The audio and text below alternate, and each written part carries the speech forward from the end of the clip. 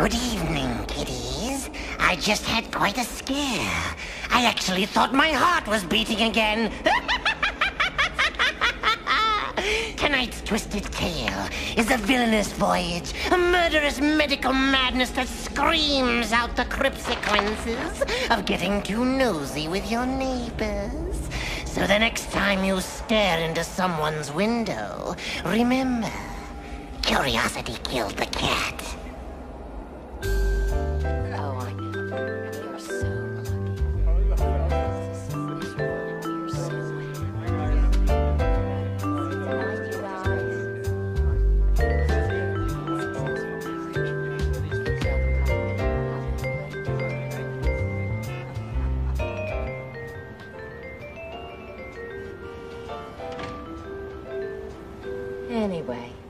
There we were. Two perfect strangers, completely and totally unknown to each other, who happened to be standing in the same exact street corner at the same exact moment in time.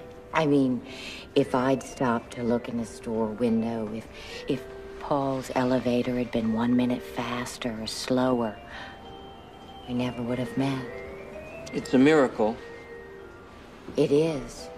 I, I think so. Don't you? Was definitely lucky. The luckiest moment of my life. This is our cue to say goodnight. Good night and a happy anniversary. Good night. Ugh, I can't wait to get out of this costume. Good night. Good night. Oh, I- Good night. Thank you. Bye bye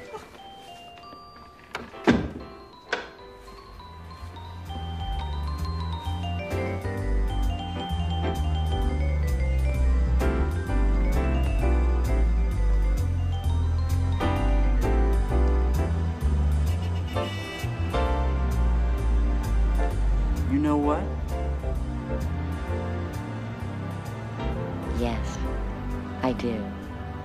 I do. Totally. Wildly. Hmm. Oh, I got you something. Uh. I hid it so you wouldn't find it.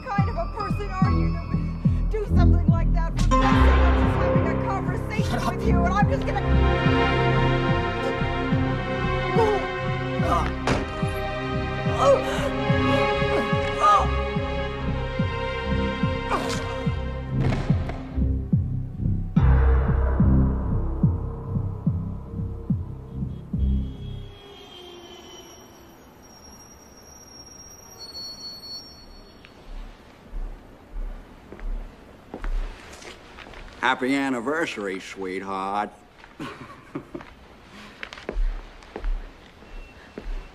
Susie, what's the matter? What's the matter? What's going on? Baby, what happened? Talk to me, sweetheart.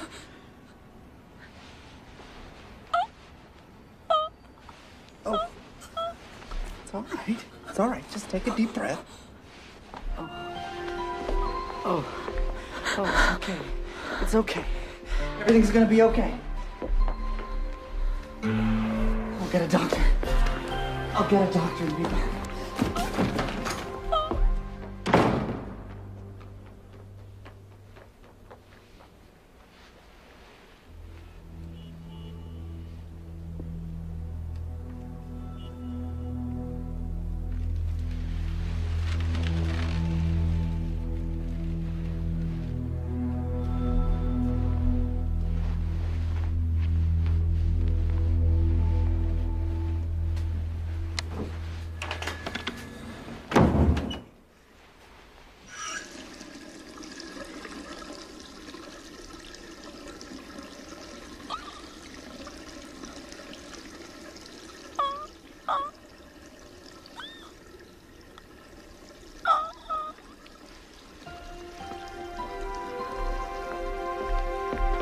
Susie. I brought the doctor.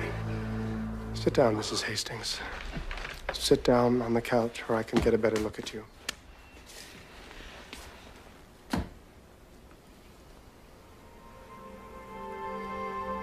Honey, you know Dr. Trask. He lives across the courtyard from us.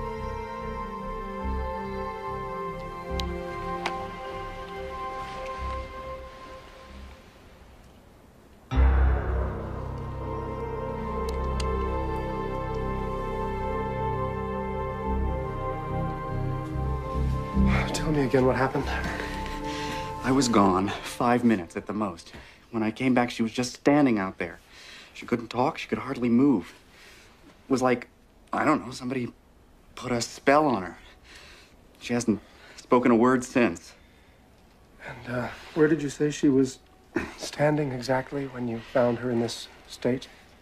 Out there, looking out on the balcony.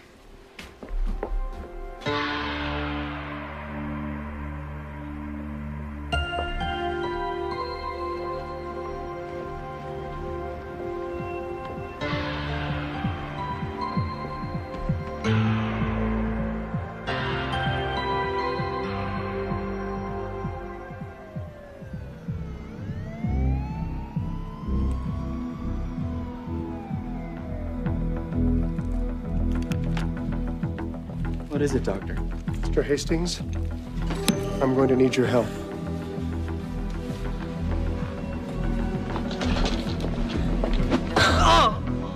Hold your wife, Mr. Hastings. I need to give her something. Susie, it's me, Paul. What is that? What are you giving her? Just a mild sedative. Darling, it'll be all right. Whatever it is, it'll be all right. We should run some tests as quickly as possible. We can take her to Long Hill.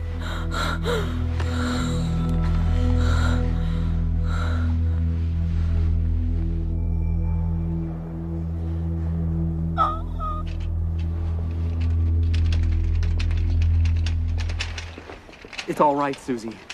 You're in the hospital. We put you in the jacket so you couldn't hurt yourself. They just want to keep you overnight for observation.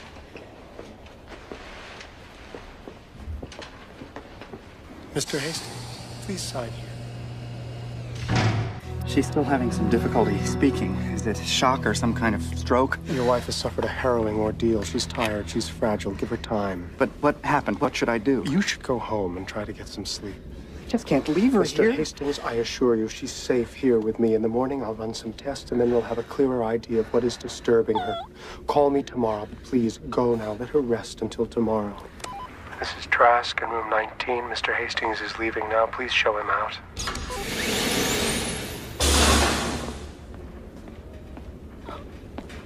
I gotta go now, Susie. Dr. Trask is here to take care of you. And I'll be back in the morning.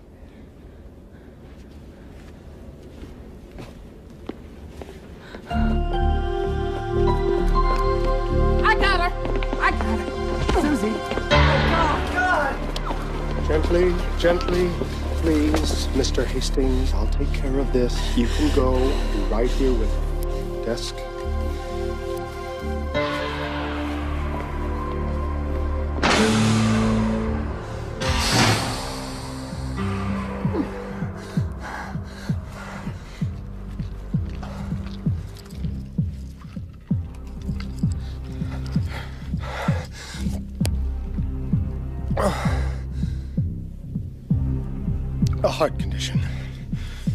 Excitement, too much noise, too much talking. Aggravates it terribly.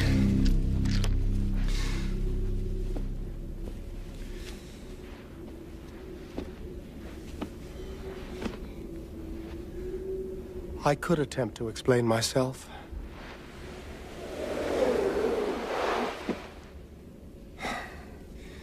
But if you don't mind, I think I'll just skip the self justification. You are, of course, in a sanatorium. The last grievous stop of the irretrievably insane. A small, private sanatorium of which I am both director and chairman of the board. And according to my diagnosis, you are also a dangerous psychotic who needs to be saved from herself. Yes, I know it does seem unfair, but that is what you get when you intrude so rudely into a neighbor's life.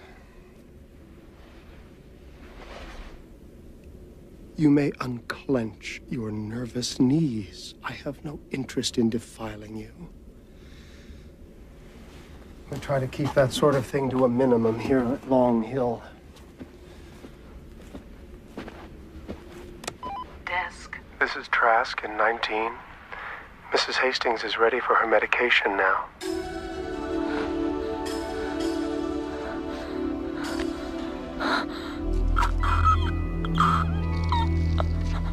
Good night, Susan. Something remarkable has happened to your wife. Something profound and traumatic. And since she is either unable or unwilling to tell us herself, we have no choice but to wait Wait, wait for what? until she snaps out of it. It could be tomorrow, or it could take years.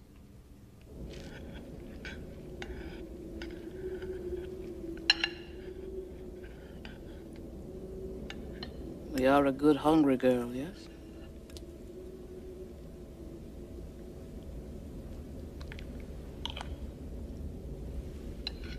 Not like the other ones.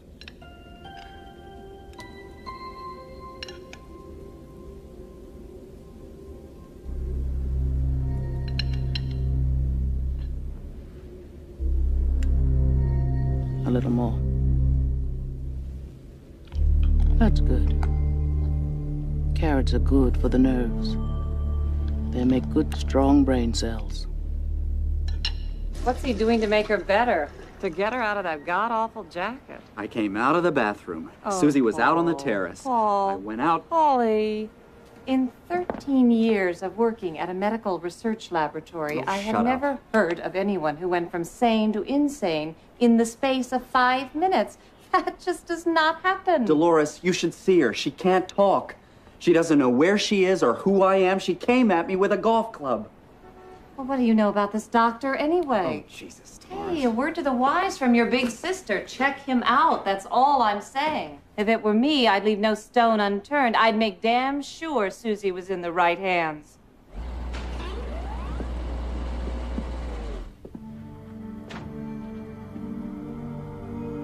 Oh, my God. What's happened to her? I'm sorry, Mr. Hastings, but I'm beginning to worry. There's been no change at all. Perhaps there's something you haven't told me. Like what? The two of you were celebrating your wedding anniversary that evening. Sometimes the first few years of married life, the noise, the constant yammering. What are you suggesting? That we weren't happy? We were happy. We had our problems, but everybody has problems. Of course. Of course you were happy. Susie was always normal. As normal as you or me. The psyche is like a kaleidoscope. One shift, the slightest turn can affect everything. What was once quiet and familiar can become terrible and terrifying. I believe that this is what has happened to your wife. I don't believe it.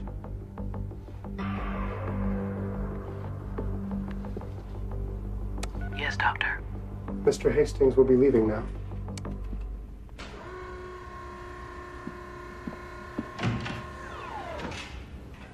I'll be back.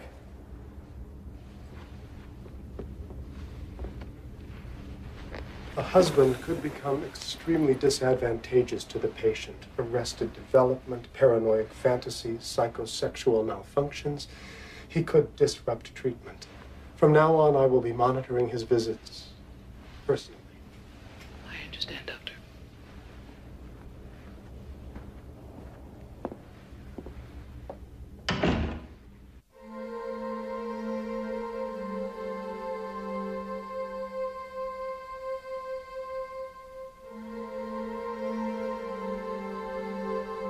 It's all right, Susie.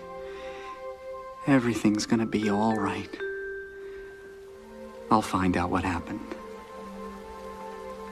And you'll come back. You'll come home to me. Oh, please, please. That will be all. Mr. Hastings, what can I do for you? I want to see Susie. Of course. No! No TV! I want to see Susie in person.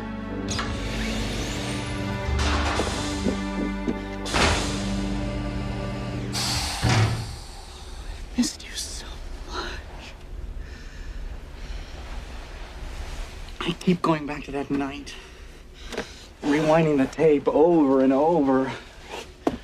I'm in the bathroom looking for the bracelet. You're alone. When I come out, you're frozen. But something about it is all wrong. But what? Something happened when I was in the bathroom. It had to have something in the living room.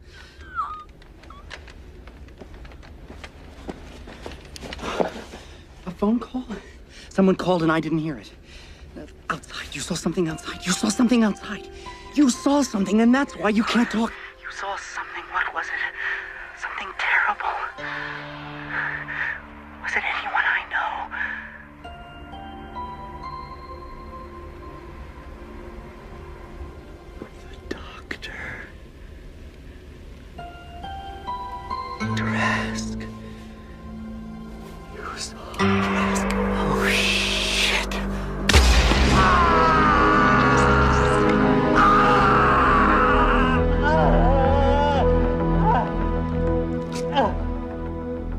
Congratulations, Mr. Hastings. You'd be very good at charades if you weren't about to die.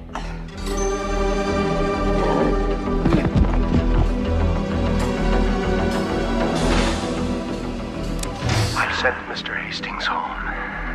You may bolt the gates.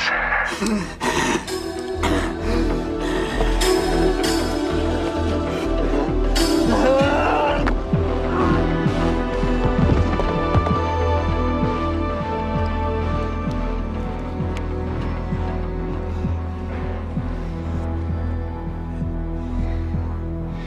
see, I have to do this in self defense.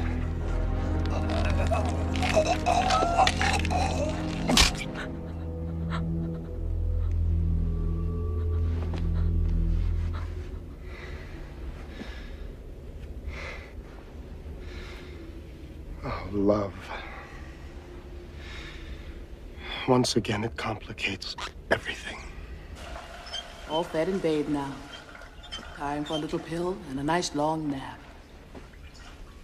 Good afternoon, Doctor. Desk?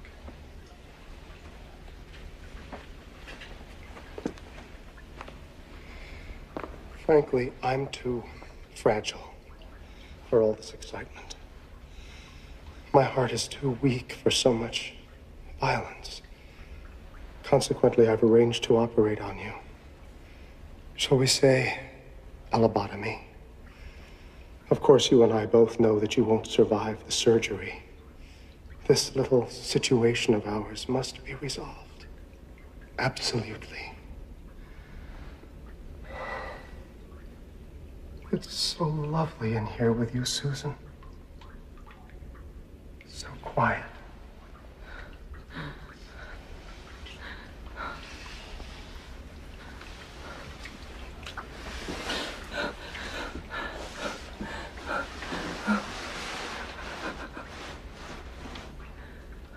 哈哈哈哈。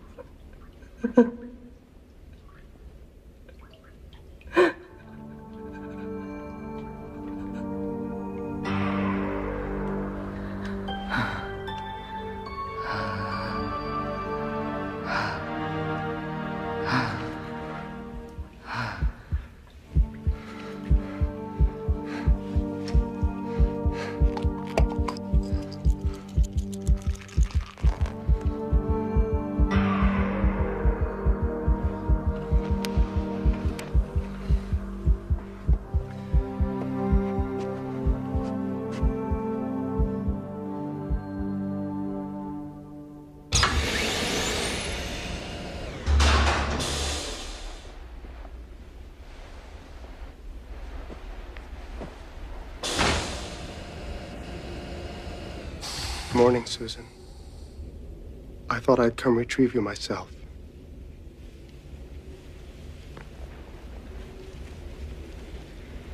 I'm going to release you from your straitjacket now.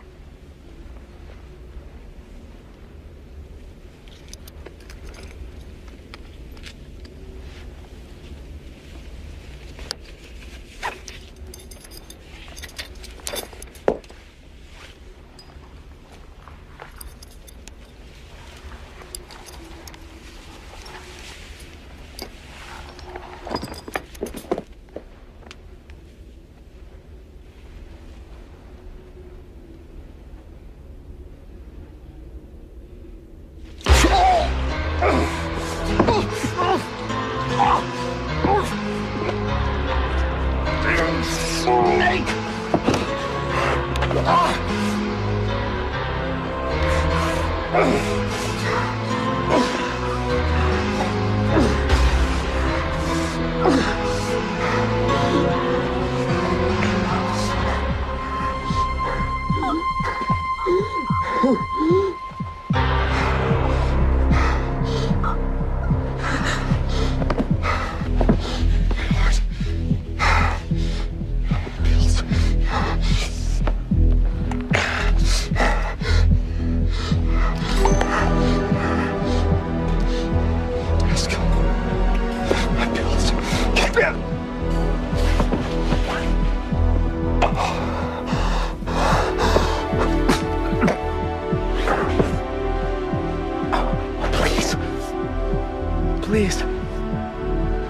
desk.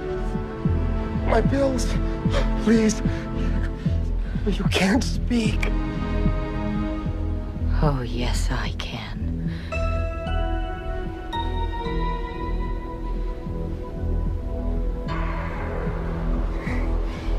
Please.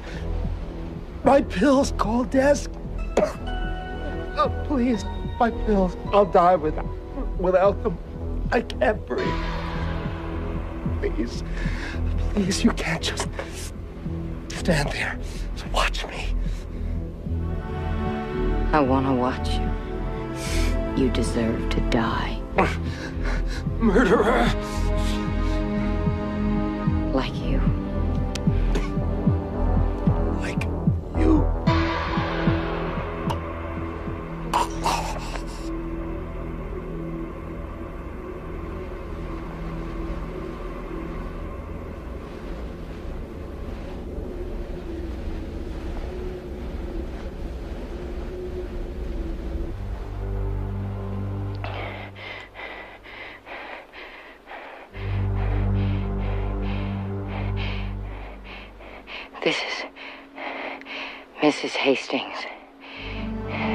Patient in number 19. There's been a horrible accident. Dr. Trask is dead. Dead.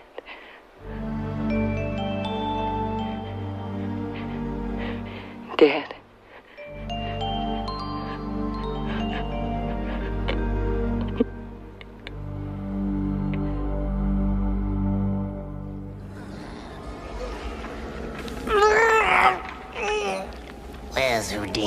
Need him? Well, that was quite a scream, wasn't it, kids? And what a surprise for poor Dr. Trask. There's a villain with a heart. A cat, that is. Just when he thought he was going to silence Susan forever, she walked all over him. I suppose you're wondering what became of Susan. If you give me a scream, I might just tell you.